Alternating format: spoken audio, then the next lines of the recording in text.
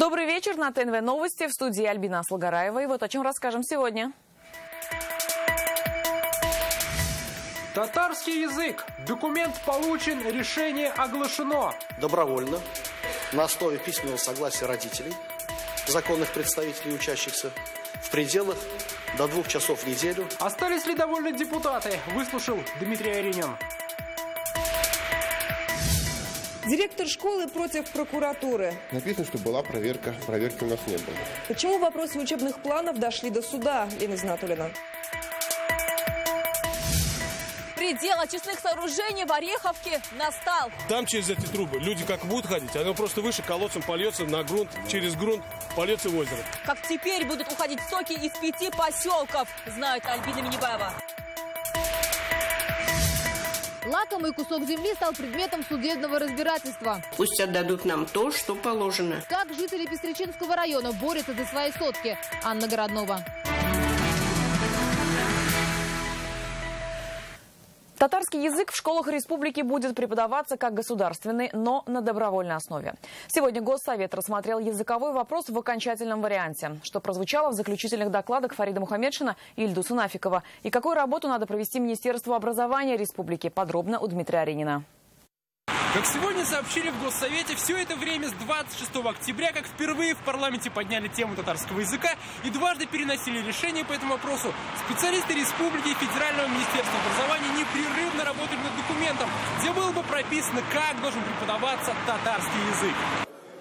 Как сообщил парламентарий Фарид Мухаммедшин, такой документ в республике наконец-то получен. 28 ноября в ответ на обращение президента республики Миниханова Рустема Нургалевича получено письмо министра образования и науки Российской Федерации Ольги Юрьевны Васильевой, которым направлены в наш адрес примерные учебные планы. В целом необходимо отметить, что проведена большая работа. Найдено общее понимание с коллегами из Федерального министерства. Основным итогом проведения консультаций стало то, что татарский язык как государственный язык Республики Татарстан в рамках учебных планов в школах будет изучаться. И сегодня же депутаты выслушали прокурора Татарстана об итогах проверок, что прошли в школах республики в начале осени.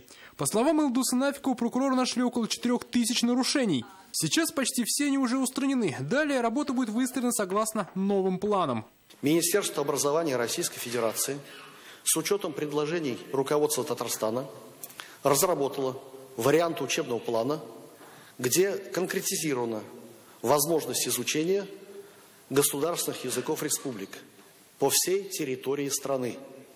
Добровольно, на основе письменного согласия родителей, законных представителей учащихся, в пределах до двух часов в неделю за счет части, формируемой участниками образовательных отношений. Как предостерег Илдус Нафиков, незаконные действия и высказывания экстремистского характера на этой почве недопустимы. Процесс приведения преподавания языков в нормативное состояние сопровождался в республике отдельными эмоциональными оценками происходящих событий в средствах массовой информации, в социальных сетях и на иных площадках. Должен предостеречь горячие головы от незаконных действий и высказываний экстремистского характера. Они будут решительно и жестко пресечены, с чьей бы страны не исходили. Подытоживая, Фарид Мухаммедшин сообщил, что информацию нужно принять к сведению, и дискуссии по этому поводу устраивать не стоит. Дискуссии в обществе создают напряжение в отношениях в учительской среде, в семье, даже среди, как говорится, и детей. Поэтому, уважаемые коллеги, вношу предложение – прения не открывать. Уже в кулуарах участники заседания сошлись во мнении, что это решение их устраивает не в полной мере, но этот компромисс важен, и в будущем можно вернуться к этому вопросу. Политика есть искусство возможного. Вот сегодня искусство возможного – это до двух часов изучения татарского языка в школах. Компромисс на то он и компромисс. Главное, что в расписании школ вернулся предмет татарский язык. Я никогда ничем не доволен. Вот. Ни один вопрос до конца никогда не решается, или изменяется, или формы другие принимаются. На сегодняшний день это оптимальное решение. Мы будем собираться обсуждать, как идти вперед, э, шаг за шагом вперед, чтобы решение этого вопроса. Если только мы говорим о том, что вот мы сейчас получили только примерные программы и на этом успокоились, это неправильно было бы. И как сказал Ментимир Шамиев, главное, чтобы татарский язык стал привлекательным. Сейчас Сейчас же Министерство образования республики поручено воплотить в дело текущие договоренности о преподавании государственных языков республики. Дмитрий Арин, Андерсон Тальцев, ТНВ, Казань. Позиция федерального центра была озвучена и принята. В школах остается два часа татарского языка на добровольной основе. Мы провели короткий блиц-опрос среди казанцев. Хотят ли они на добровольной основе изучать татарский? И считают ли они такой выбор важной мотивацией для сохранения традиционных добрососедских отношений? Примете ли вы решение добровольно изучать татарский язык? Да, приму. Не знаю, надо подумать еще. Ну, возможно, что да. Если будут учить именно разговорному татарскому, чтобы он смог общаться, вот, э, как бы с своими сверстниками, то да. Добровольно, да, в принципе, можно. Смотря сколько часов будет добровольно. Я не против, если дети будут изучать татарский язык именно вот э, так, как вот в разговорной части. Да, приму. Потому что у меня смешанный брак. У меня ребенку нравится. Я как бы ориентируюсь на то, что нравится моему ребенку. А считаете ли вы такой выбор э, важной мотивацией для сохранения добрососедских отношений? Конечно, мы, в принципе, живем в Татарстане, поэтому неплохо знать детям татарский язык. Никто и не ругался. Мы не ругались, соседи татары, друзья татары. Конечно, конечно, как нет. Потому что, ну, у нас же республика, здесь у нас и татары, и русские живут. То есть в любом случае компромисс какой-то можно будет найти. Если кто-то, предположим, не будет изучать татарский язык, если я не считаю, что это как-то испортит добрососедских отношений. Я даже скорее не связываю это между хорошими отношениями между русскими и татарами, а скорее потому, что я считаю, что мой ребенок, живя в Татарстане, должен знать татарский язык. Язык до суда довел. Директор школы «Солнце» и представители прокуратуры встретились сегодня в Вахитовском суде. Павел Шмаков считает, что предписание, которое выписала ему прокуратура о нарушении учебных планов, безосновательно, так как фактически эти учебные планы у него никто не запрашивал.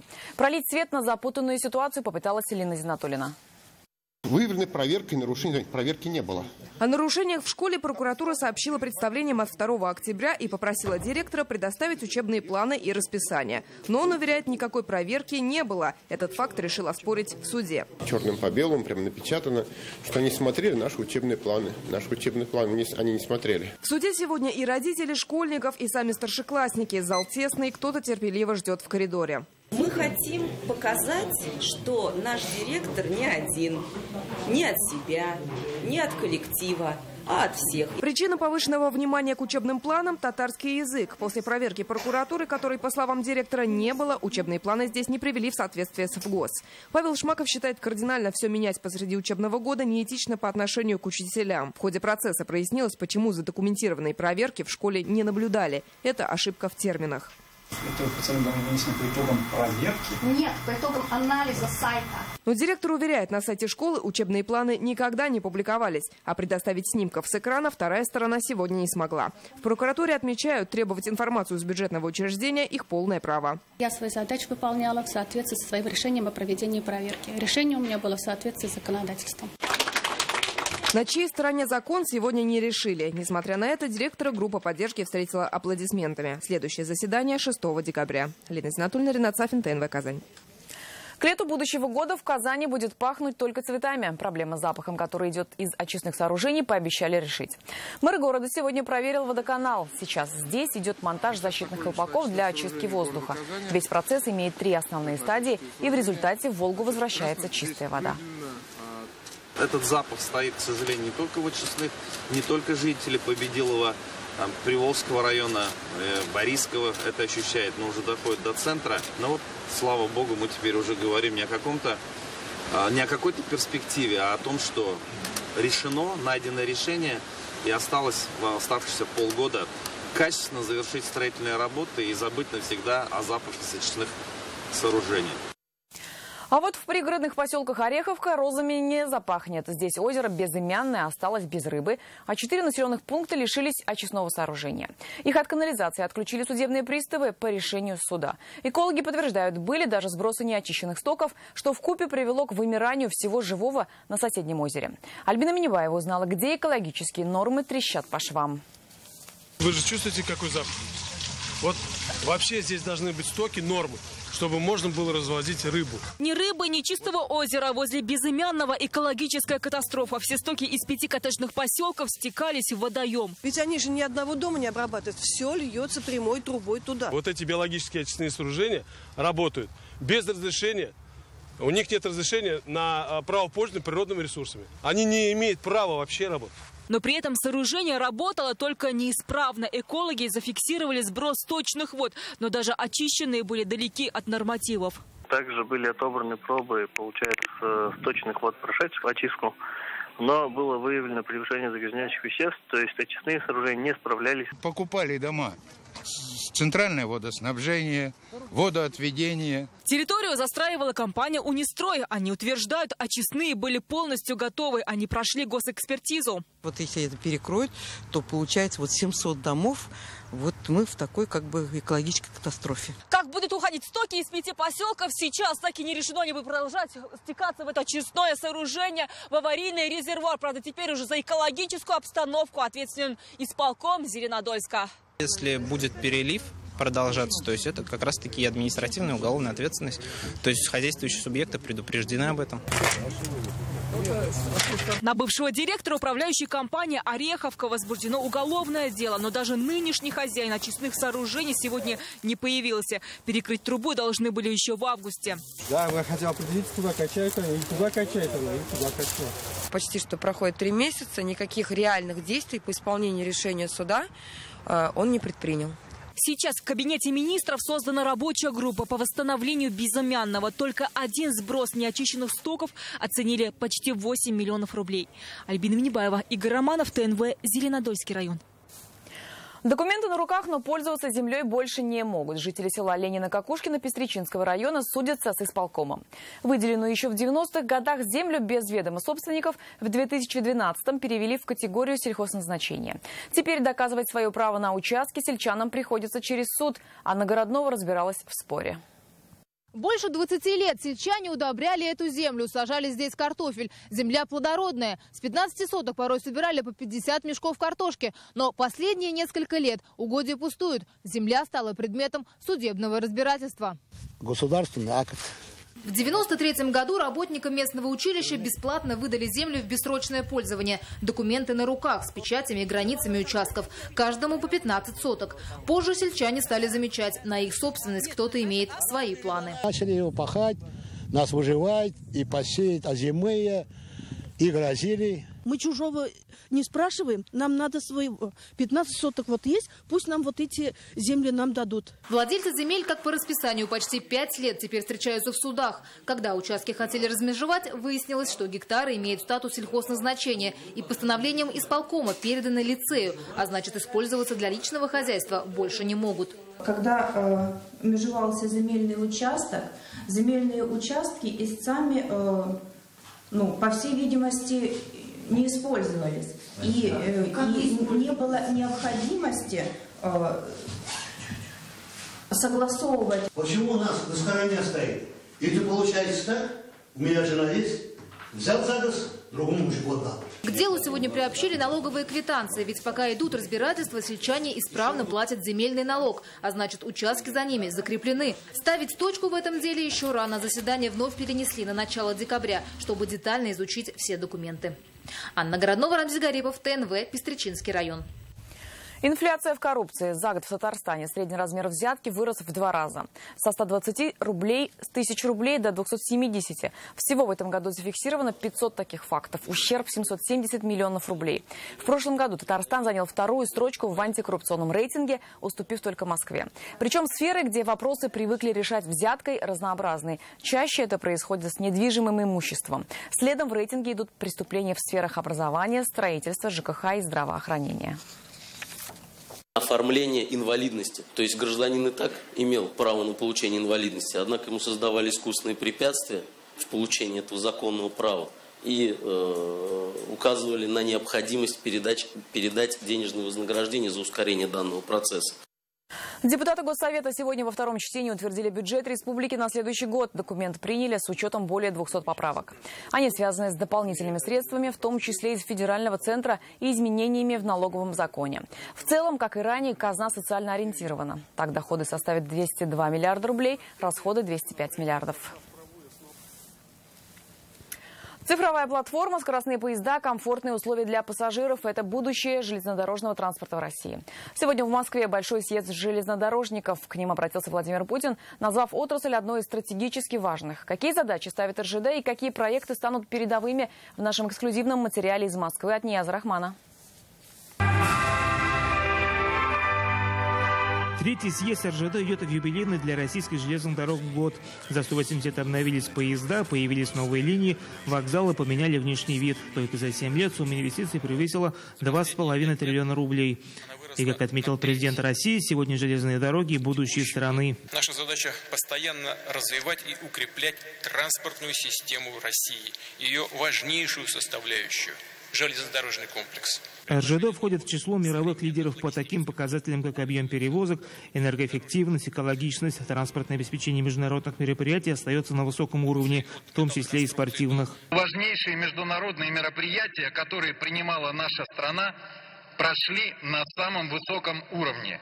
Это саммит АТЭС во Владивостоке, Всемирная универсиада в Казани. Вот и съезд – это главная дискуссионная площадка, ведь именно раз в шесть лет рассматривают важнейшие направления развития железной дороги вплоть до 2050 года. Есть возможность э, вот просто в разговоре даже какие-то вещи порешать. Поэтому она крайне полезна, крайне нужна.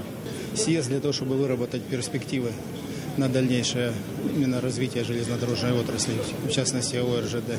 За последний год выросли грузовые перевозки на 17%. Реализуются международные проекты в таких странах, как Куба, Сербия, Индия, Иран и Монголия. Строительство железнодорожной инфраструктуры является основой для обеспечения транспортного обслуживания новых экономических районов, снятие ограничений пропускных способностей, расширение транзитного потенциала. Для Татарстана, конечно же, важно это строительство высокоскоростной магистрали Москва-Казань. Здесь, на третьем съезде, об этом не раз говорили, и даже для участников представлен вот такой э, проект э, этой магистрали. Как мы видим, здесь расписана вся карта, вся эффективность экономическая данного проекта.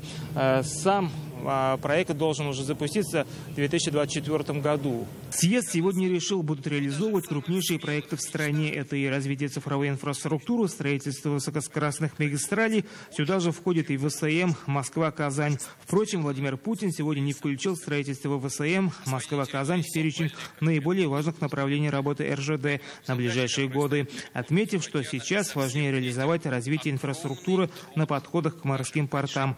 Нез Рахман, Данил Филатов, ТНВ, Москва.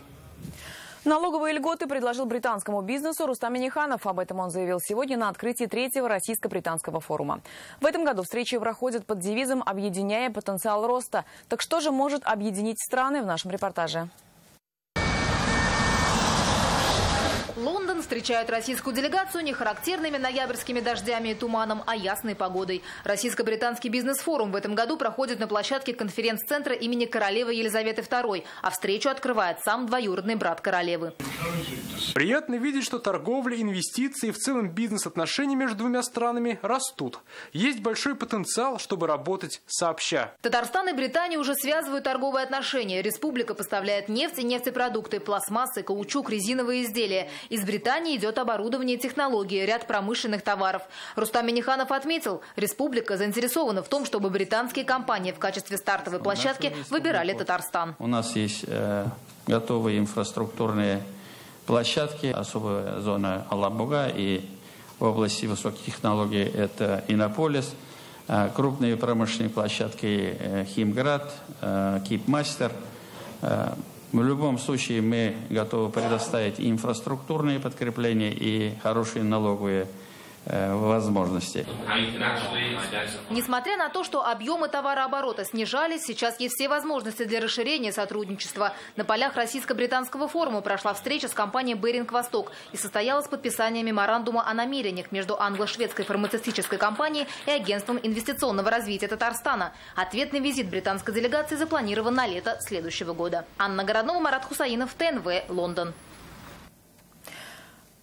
Кто ответит за недострой и выслушает жалобы дольщиков? Сегодня в Минстрое разложили по полочкам, какие полномочия и вопросы с долгостроями отданы на муниципальный уровень, какие у республики. Сейчас проблемными считаются 35 домов и полностью закрыть вопрос с квартирами планируют к 2020 году.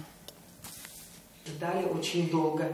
Я 12 лет, а активное строительство этого дома началось в 2014 году. Алина Гатаулина знает, что значит ждать жилья, как из печки пирога. Она заезжает в квартиру в доме, который строили на ее деньги и деньги соседей. Их дом один из первых в республике, построенный по программе долевого строительства. Когда стройка только начиналась, жители уже знали, что дом будет заметно отличаться от остальных. Во-первых, необычной планировкой. Во-вторых, необычным внешним видом. По-хорошему броско дом выглядит даже сегодня. А так выглядит похожий, но до сих пор пустующий дом. Объект долевого строительства уже начинает осыпаться, не дождавшись завершения стройки. И сегодня таких долгостроев в республике остается 35. В отчаянии дольщики пишут жалобы в Минстрой, только их вопросы уже давно законодательно переданы на уровень городов, районов.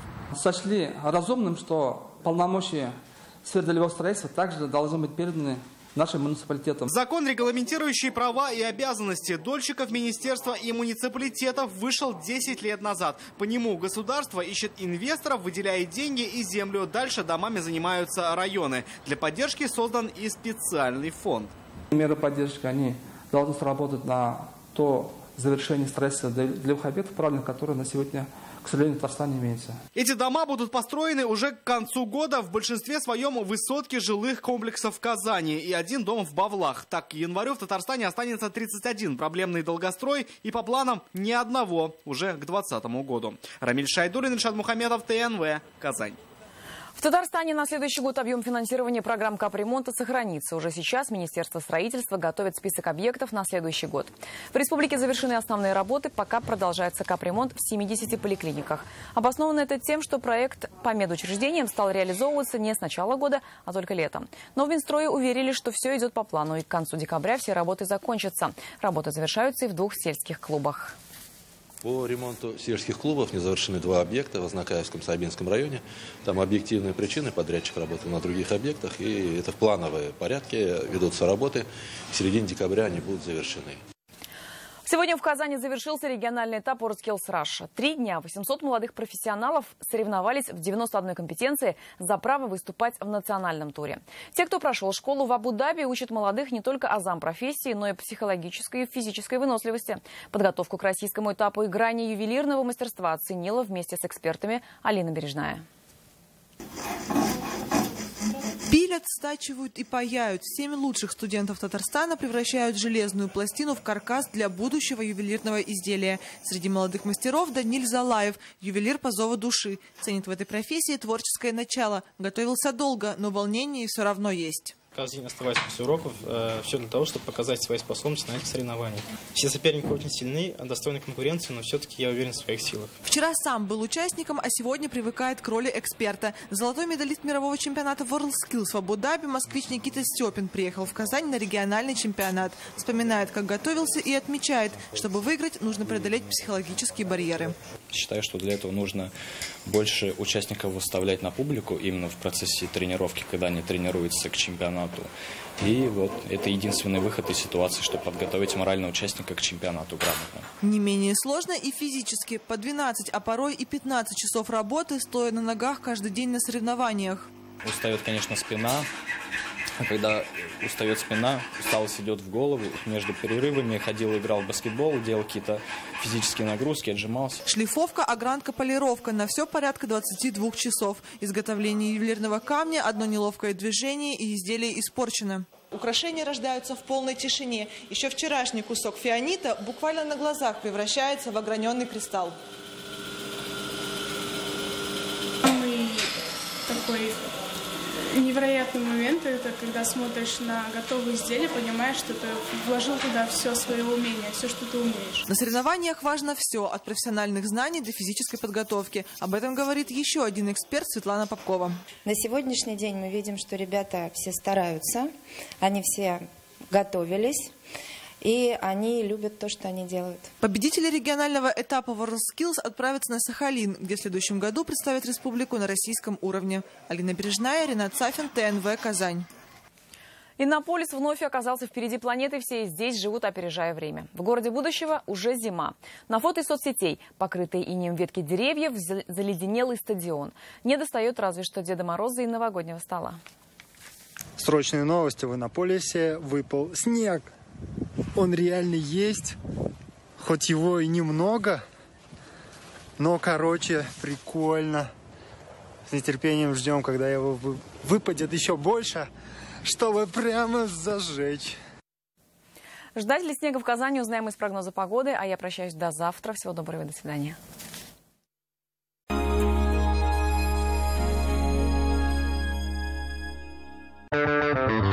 Беспроцентная рассрочка в Канавто. Воспользуйтесь уникальной возможностью приобрести автомобиль «Лада» в кредит без переплаты. Канавто, Сибирский тракт, 48. Телефон 230 30 30. В Мебельграде большая распродажа. Скидки на 100% мебели.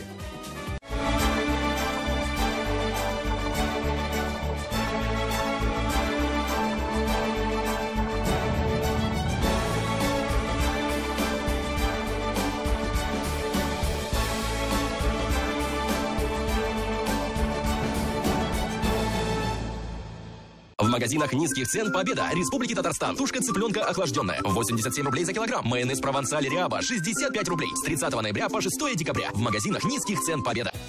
Деревенское мясо птицы и субпродукты Васинова Казань. Деревенский бройлер 140 рублей килограмм. Деревенский гусь 250. Деревенская индейка 220. Деревенская утка 180 рублей за килограмм.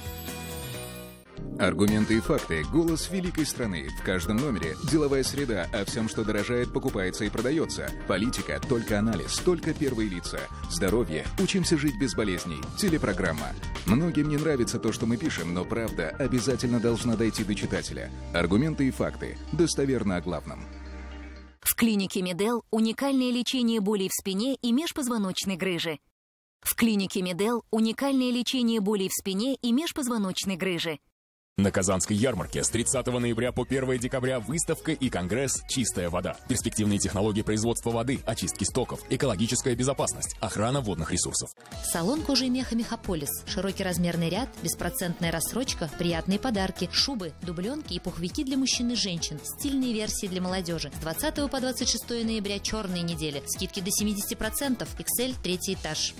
С 1 по 3 декабря спортивный комплекс «Маяк», сборная России по тяжелой атлетике и зарубежные спортсмены встретятся на всероссийском турнире памяти Александра Курынова. Приходи поддержать наших спортсменов. Если боль за грудиной не проходит в течение пяти минут покоя, звоните 03 или 112. Это может быть инфаркт миокарда. Сохраните свою жизнь. Минздрав Республики Татарстан. Приглашаем на детские новогодние елки в Корстон. Подробности 279 32 22 0 плюс. Болгар радиосының Алтын йылдыз милли музыкаль премиясыны тапшыру тантанасында очрашканга кадәр бергә булыйк.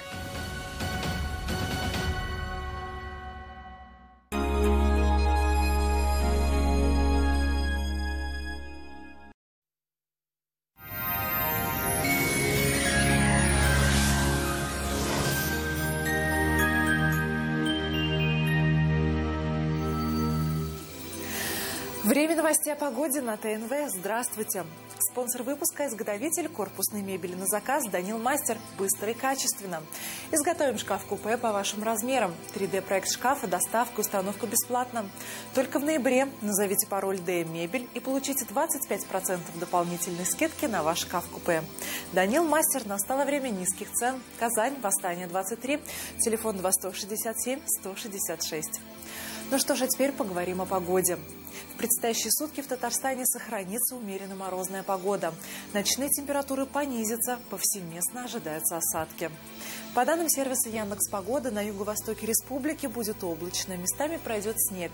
Температура воздуха днем составит до 4 градусов мороза. На северо-востоке Татарстана ожидается небольшой снег. Температура воздуха там составит до 3 градусов ниже 0. На севере республики будет облачно со снегом и до минус 4 градусов днем. На северо-западе Татарстана тоже ожидаются осадки в виде снега. Там температура воздуха составит минус 3 градуса. На юго-западе республики переменная облачность, снег и до 3 градусов ниже 0. В центральном районе республики ожидается облачная погода, местами пройдет снег, температура воздуха составит минус 2 градуса. В последующие сутки существенных изменений в погоде не ожидается. Спонсор выпуска ОАО «Марбиофарм». Гриппофлю. Не дайте простуде гриппу испортить вам жизнь. Гриппофлю. При насморке, лихорадке, ознобе. Гриппофлю. Скорая помощь от простуды и гриппа. Гриппофлю. Умеренная цена. Предстоящие сутки в Казани ожидается снег. Температура воздуха днем составит до 2 градусов мороза. Ветер юго-восточный слабый. Атмосферное давление составит 768 миллиметров ртутного столба. Влажность воздуха 89%. Ожидается магнитная буря. Берегите свое здоровье. Это были все новости о погоде. В студии была Маргарита Павлушина. До свидания.